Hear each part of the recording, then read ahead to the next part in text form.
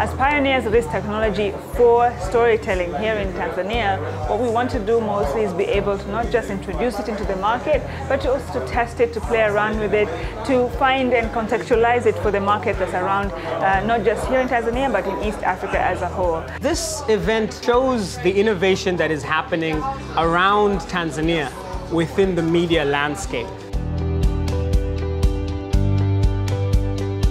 It's important for us to showcase what they're doing, their impact, what their ideas are about, and what really is the value that they bring to the ecosystem for media. This has helped us to showcase all that we have been doing in a year in transforming what we, we once had as a dream but now existing as a company in transforming medical information into simpler, entertaining, and innovative solution that delivers medical knowledge to the general population space in which we can, we can share uh, experiences, we can swap notes and be able to know that, hey, there's somebody out there that I can also reach out to in case I have trouble or there's somebody out there that even I can partner with um, for different projects. It's very important that all the creativity that we can find in a country like Tanzania is actually shown to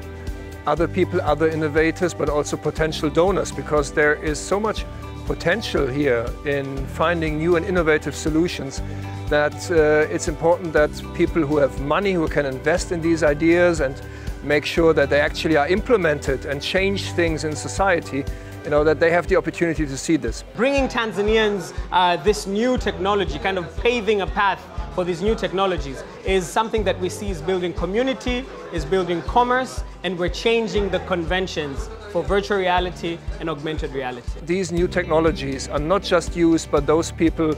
who just want to make money, who just want to use this to uh, influence society in a bad way. It's important that journalists, that media, also other innovators want to use this technology to do something good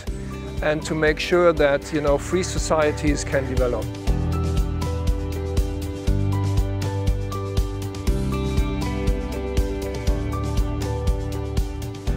What I hope is that some of these innovators that we are supporting will, uh, in a few years,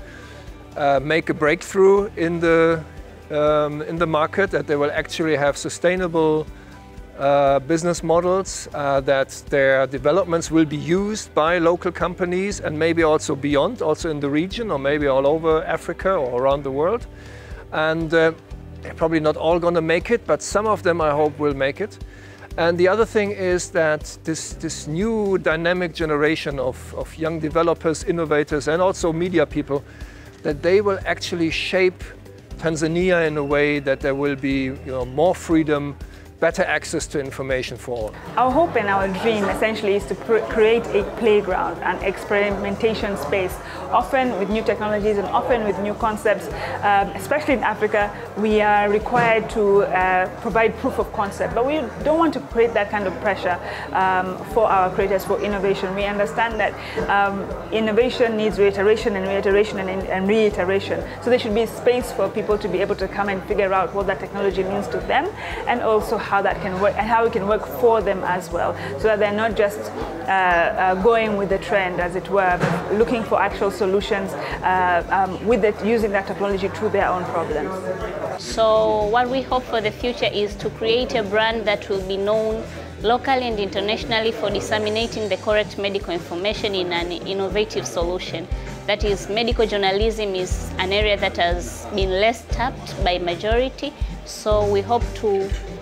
to advance further in tapping all the areas that have been left behind in all innovation sectors.